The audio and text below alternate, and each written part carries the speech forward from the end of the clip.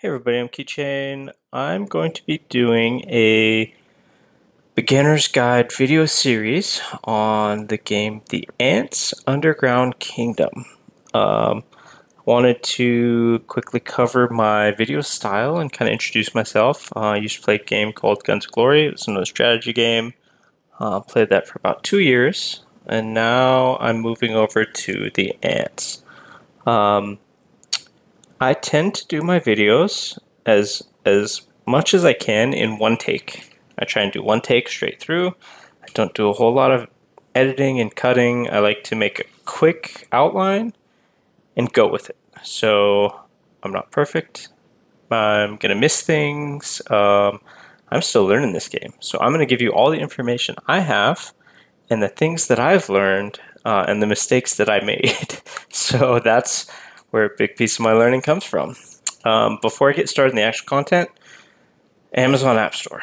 Uh, if you're in a region that you can play this game from the Amazon App Store, do that. Uh, in the description, we've got download links for both the Amazon App Store and the Google Play Store and Apple. Of course, you know, if you are going to be spending it all, you will save money using Amazon.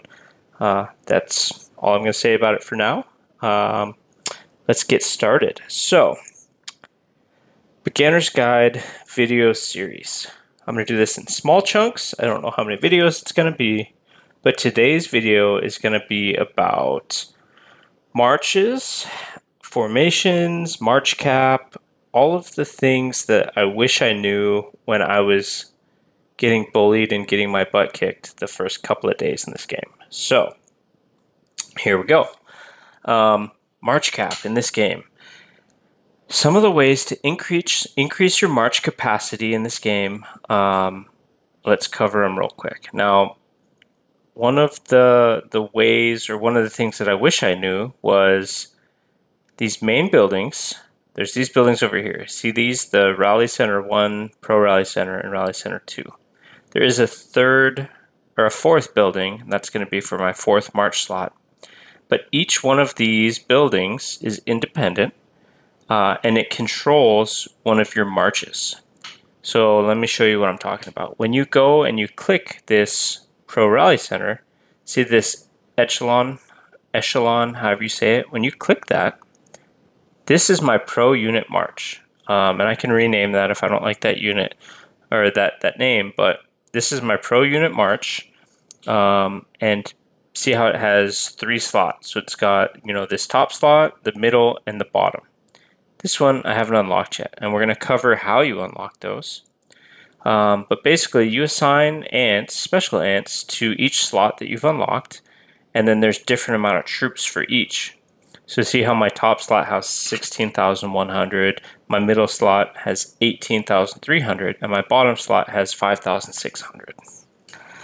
Now, I didn't know about this for the first couple of days, and I was getting my butt kicked. And I couldn't figure out how these guys had so many more troops than me. And it was very frustrating to be losing so many fights when I just I had no idea what I was doing. So, I'm going to share that information here. The first very important thing when we click one of these special ants, the number one skill in these ants increases how many ants it can bring in the march with it. So you can see right here that my current skill level adds 8,100 troops, um, and each level the special ant gets increases it by 100. And then as I increase that, the values get higher and higher, and you can see it goes all the way up to level 10, which is 18,100. And then if you star up your special ant, which I don't know anything about that yet, I'm going to have to learn about that, um, you can go even higher and it goes all the way up to 18,100. Oh no, that's the cap. And then each level still increases by 100, but you get soldier ants damage. So each level of this increases your damage, not your march cap. But this is something that I have no idea about yet. Once I learn, we'll do a video, you know, share the information. But right now, I don't, don't know anything about it. The second major piece of this is skill number, let's see, let me find the right one. I know it's in here. There is another skill that increases. It was skill number six, I believe. Here it is. Okay, so skill number six. If you unlock this skill, the piece of this is this dominance three effect increases the soldier cap by 25%, and then the highest level is 250. So unlocking this skill increases your march cap even higher. Uh, now the other piece, and you know, there's there's a ton of stuff you can go into special ants. I'll be doing my own video on special ants, and once I figure out all their abilities and how they work together and all that stuff, like we'll we'll do a special ant series and cover my favorites and, and all that stuff. But right now, we're like 10 days in. I don't know what I'm doing. Okay, so how else do you get March Cap? These buildings are very important. When you click the Details tab on this, click the More Info, you could see I had, when I was losing all these fights, I had level 1 Pro Rally Center, and all the rally centers were sitting at level 1. So the amount of troops that I could have in a march without special ants was 1200. And that's split in three. Okay. So it's 400 for the top slot, 400 for the middle, and 400 for the bottom slot. Level 2 goes to 1500, 1800, 2400, and up we go down the line to now I've got 16,800 troops, which when you divide that out comes down to 5,600. So you see the number on the bottom here?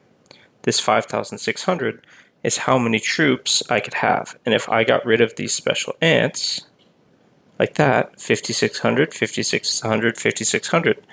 And that's how we add up to our total.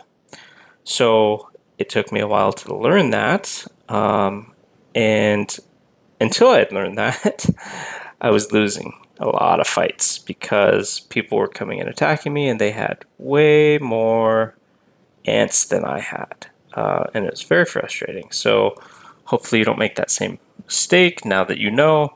Upgrade your rally buildings. It's very important. Um, so the next thing that I want to talk about that is kind of on this subject, but kind of not, is stationing ants. Uh, it's another very important piece of this game that I was getting asked questions on by some of the people that, that joined me in this game. Um, oh, also, if you want to come join and try this game out, we're in Kingdom 552, and the alliance is YTF, YouTube family. There's 14 of us right now. Uh, room for more if you are tired of your other game and you want to come check this one out. Come join the alliance, give it a shot, um, come hang out, and you know we'll make room for you. Okay, so the other building that's very important is this special ant habitat, this one here. Uh, the other thing that's important to note is as you level this building, see these station points? We start with 10, and then it goes 12, 15, 17, 20, etc., and it goes all the way up to 100 points when you max this building out at level 25. For now, I'm at 22 points. But why does it matter? Well, it matters because you gain benefits from stationing ants. Um, now, stationed ants are kind of stationed to buildings to your home base. Uh, I don't think they, they can't be used in marches while they're stationed, at least as far as I know. But they all have different effects. Now, one of the things that can get confusing here is there's a lot of ants listed and you probably don't have them all. This button up here, this owned button, very helpful check that button and only the ants that you own will show up in this list. Now, looking at these, there's production, there's military affairs, and then there's management. So there's different categories here. And see, I have 22 out of 22 points. If I unlocked another ant and I don't have the points to station them, I have to remove somebody else to station a different ant. And they all have different values. So if I remove this ant, to station this giant destructor ant is six points. Versus this green ant, it's only one point. But the gold ants have way more benefits. Very, very beneficial. Um, I will show you some of the differences real quick. Um, green ant has two skills. This ant will, you can, the ant itself will gain experience after you do a successful meat rapid production. And then if we, you know, right, the other ability it has is this feeder, this um, each woodlouse colony output. I should probably unlock that ability because it's a small number, but I've got the ant equipped. Um, let's unlock it. So now what I've done is I've added 50 per hour to each of my woodlouse colonies. And that doesn't seem like a lot, but there's eight of them, right? I think I've got, I might only have, I don't know, I've got like six or eight, something along those lines right now, but it'll grow.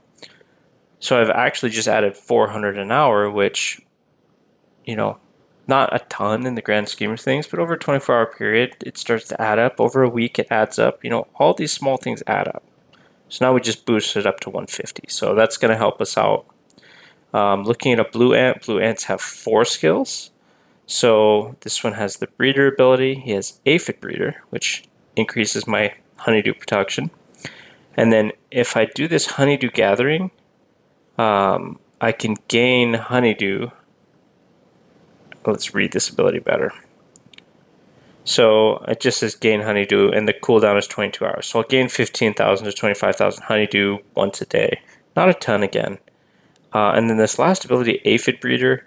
Um, I don't know how you know how that works. It just increases my aphid breeding effect, which is my honeydew output there's a lot to this game, and, and if you're getting lost in this one already, I'm going to do more guides. It'll all start to make sense, especially if you're playing the game, these things will start to make sense.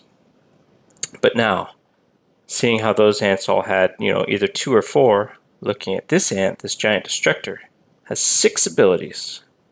This first one, this is an active skill. See how it says develop active?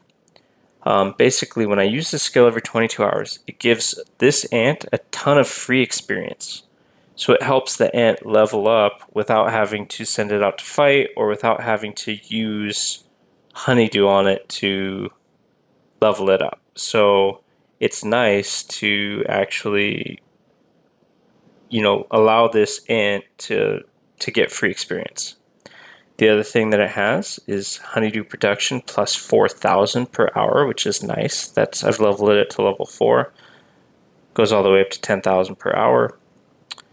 There's this one that it unlocked aphid rapid production. Now this one is a big deal um, because before before I, I got this ant and equipped it, aphids did not have rapid production. So they were just sitting, passive gathering. I couldn't do anything to boost that. Um, now I can get some extra boosts out of my honeydew um, to gain more because it's the most valuable resource. Like everything needs it. Uh, eventually, I'm going to be able to unlock this to increase the breeding effect. Um, same ability that the green ant had, but better. Goes all the way up to 950 thousand an hour at level 10 which is fantastic like that's a ton so getting an extra 950,000 to a million a day is going to be very beneficial and then this one again increases the output um, for two hours on an eight hour cooldown so you can super boost you know at level 10 super boost your aphid output for two hours which is going to be huge um, so that's stationing there's other ones in here like military affairs which you know, you gain experience while they're healing for these ants. Um, faster healing speed, resource reduction cost, and it can increase your your healing pool's capacity. Uh, so that's you know beneficial. And then in the management category, there's other things that you know you gain experience for the ant when the ladybug comes. Um, you gain meat when the ladybug comes. You get the ladybug to stay longer. Um, small things like that and it's you know just boost. So if you have ants, um, you should be stationing them to maximize your experience, and you know all of your experience and all the things on your special ants adds up, um, adds to extra power. So it's something that you definitely want. Okay, so transitioning back to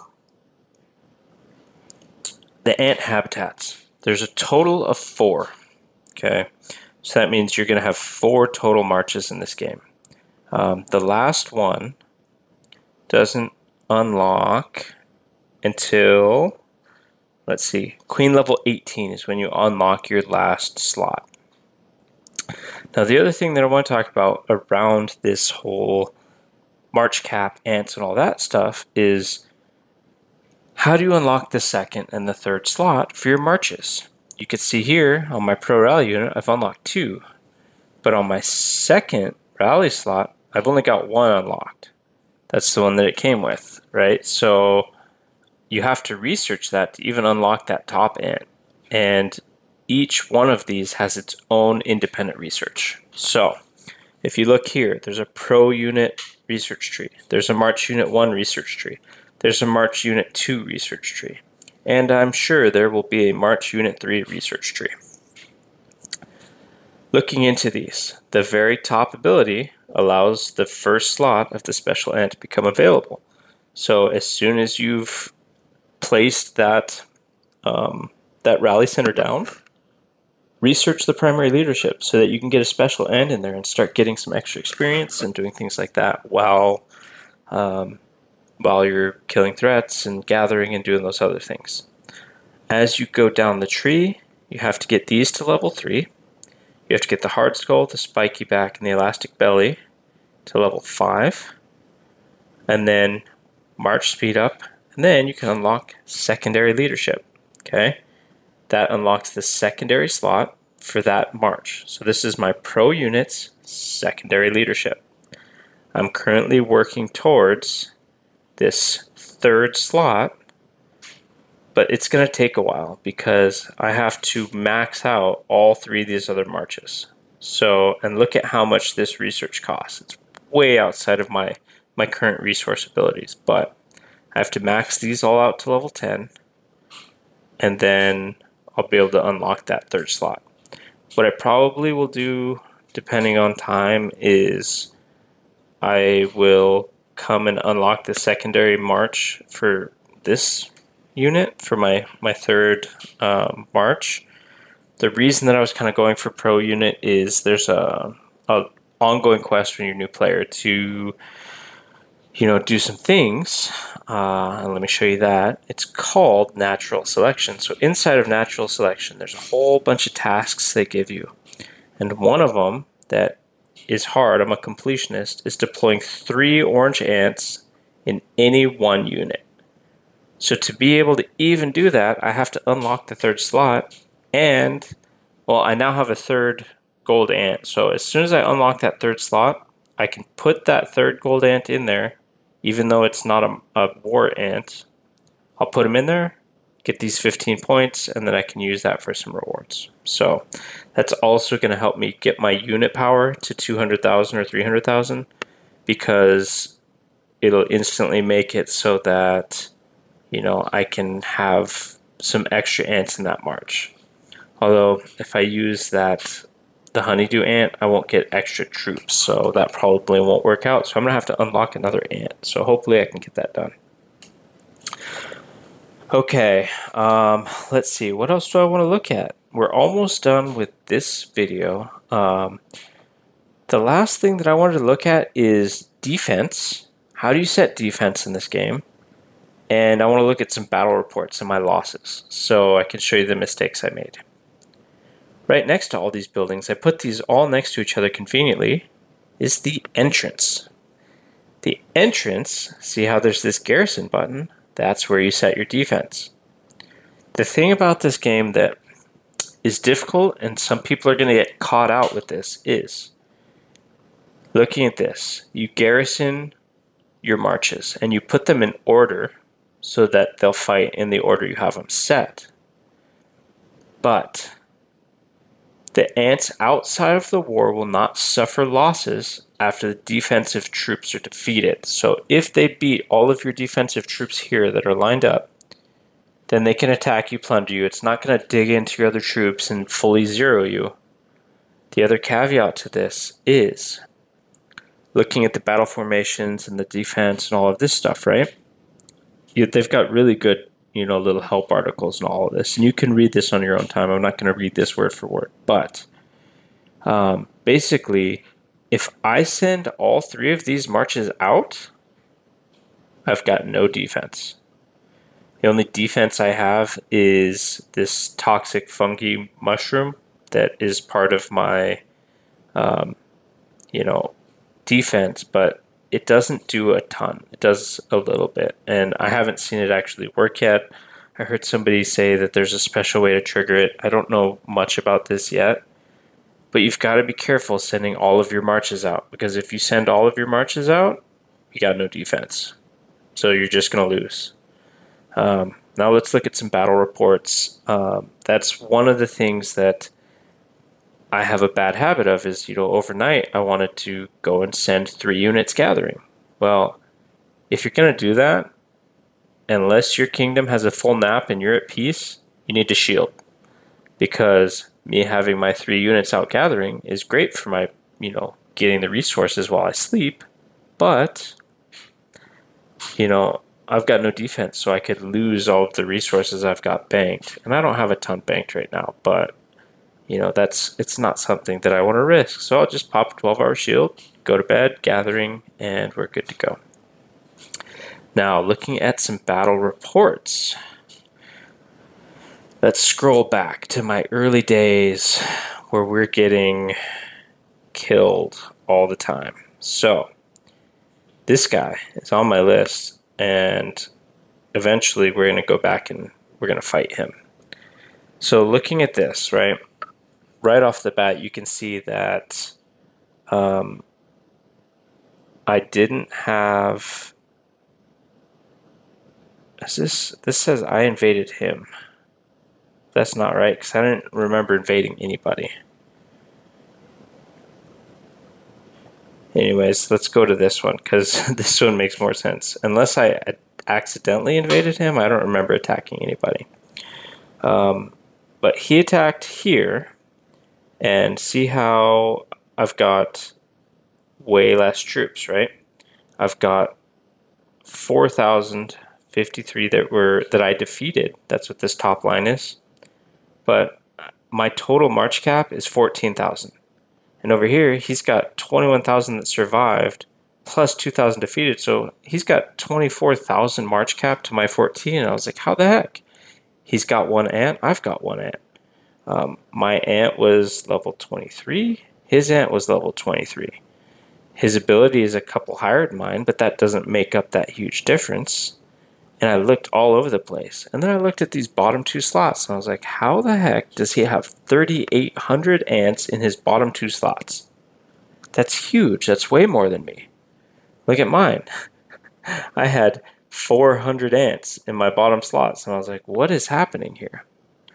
That's when I went and looked back at the uh, the rally buildings and found out that I need to be upgrading those because they're important.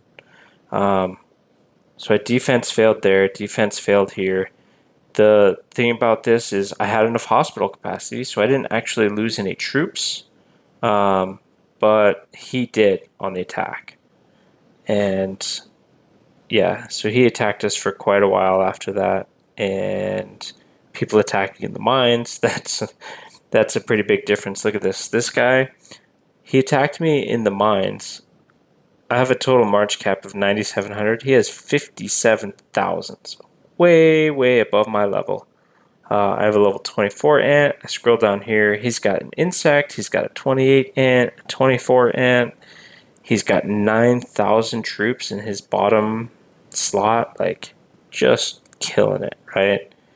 Um, way, way above me in far progress. So that was fun. And then, you know, scrolling back up here, I started invading some people, and we, we killed some people today.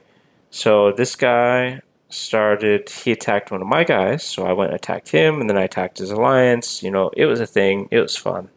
Uh, and I won these ones. I had some deaths, but I had a much higher march cap than he did on defense. So I sent my march, and I have, you know, 33,000, 30, something thousand, uh, and his defense only had I don't know like six thousand. And then see this toxic fungi level one, how it got skill kills one. So it didn't do much. But it's there. And then the second round of battle, same thing. The toxic fungi didn't do much. Um, but the other thing is it shows each round of battle in this game. So I kind of like that too. Okay, um, as far as a first beginner's guide video series, I know I rambled on a lot and I branch off into different stuff and I get on tangents. That's just my style. Um, you know, some people like it, some people don't, but that's just me. Okay, I think that's where I'm going to stop for now. Um, that's all I have written down for things that I really wanted to cover for this video on marches formations, stationing, all of that stuff that people were asking me questions about right off the bat. Um, so that's it for this video. Thank you for watching. Remember to hit the like and subscribe, and I will see you in the next video.